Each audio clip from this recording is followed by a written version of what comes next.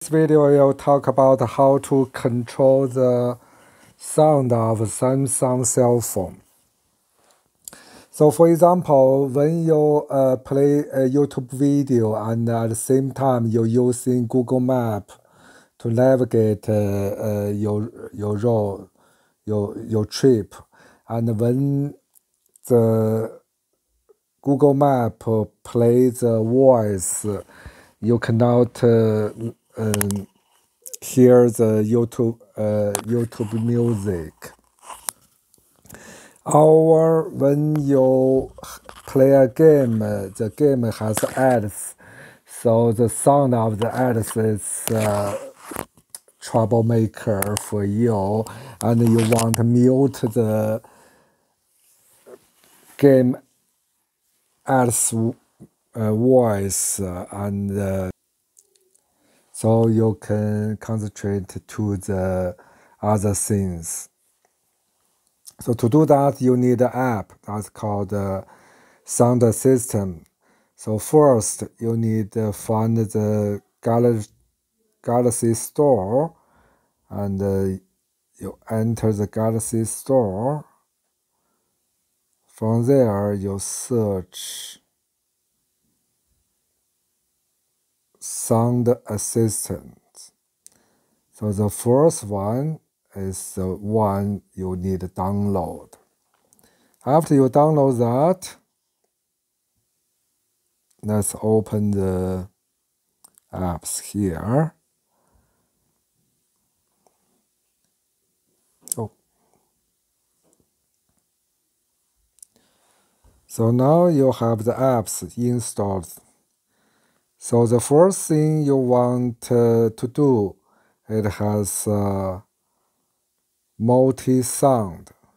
So that's the one, for example, you want uh, YouTube music always on top of everything.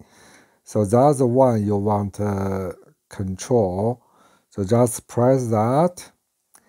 Then it will give you all the lists. You can select all apps our single apps. In my case, because I'm uh, play the music using the VLC, so I enable only this one.